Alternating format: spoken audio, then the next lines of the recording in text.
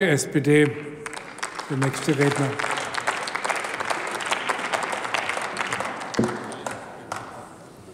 Herr Präsident, meine Damen und Herren! Lassen Sie mich mit einem Erlebnis beginnen, das ich vor einigen Wochen hatte. Es war auf einer Autobahnraststätte. In einer Ecke dieser Raststätte spielten Eltern mit ihrem Kind und haben viel, haben viel gelacht und hatten Spaß. Das Kind war vielleicht drei Jahre alt und hatte Down-Syndrom. Es trug ein T-Shirt, auf dem stand, wie schön, dass es mich gibt. Dieser Satz traf mich direkt ins Herz, auch weil es so zu diesem lebensbejahenden Kind passte. Und ich finde, er trifft das Problem.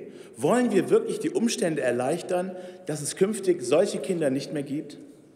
Liebe Kolleginnen und Kollegen, die Befürworter der Pränataltests als Kassenleistung argumentieren in erster Linie sozialpolitisch. Ich glaube dagegen, darauf darf man die Frage der Bluttests nicht reduzieren. Denn es ist natürlich so, dass sich Eltern nach einem positiven Trisomie 21-Befund verstärkt mit der Möglichkeit der Abtreibung befassen. Bitte verstehen Sie mich nicht falsch. Wenn Eltern sich entscheiden, ein Kind mit Down-Syndrom abzutreiben, so ist das ihre ureigene Sache und zu akzeptieren. Da darf sich der Staat nicht einmischen.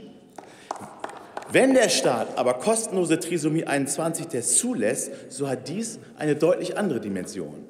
Der Test soll Eltern mit werdenden Kindern mit Down-Syndrom in die Lage versetzen, sich möglichst frühzeitig mit der Frage der Abtreibung zu befassen. Und 90 Prozent der Frauen treiben ihre Kinder nach einem positiven Testergebnis ja auch tatsächlich ab. Und genau das ist die staatspolitische und ethische Dimension unserer Entscheidung.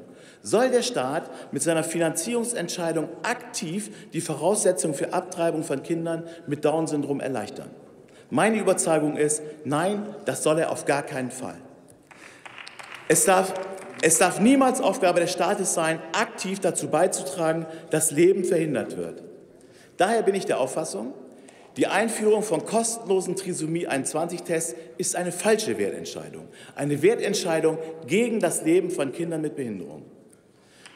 Liebe Kolleginnen und Kollegen, ich möchte, dass der Staat eine andere Wertentscheidung trifft, dass er sich positiv zum Leben von Kindern mit Down-Syndrom bekennt, dass er Rahmenbedingungen schafft, dass diese Kinder in unserer Gesellschaft willkommen sind. Ich möchte, dass wir jedem Kind mit Down-Syndrom am Ende mit vollem Herzen sagen können, wie schön, dass es dich gibt.